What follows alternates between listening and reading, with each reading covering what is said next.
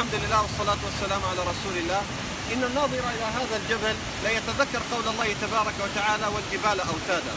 ثم يتذكر في يوم القيامة قل ينسفها ربي نسفا. فلا إله إلا الله. إن كان هذا الجبل ينسف فما حال بني آدم الذي ارتكب الذنوب والخطايا؟ أجارنا الله وإياكم من النار.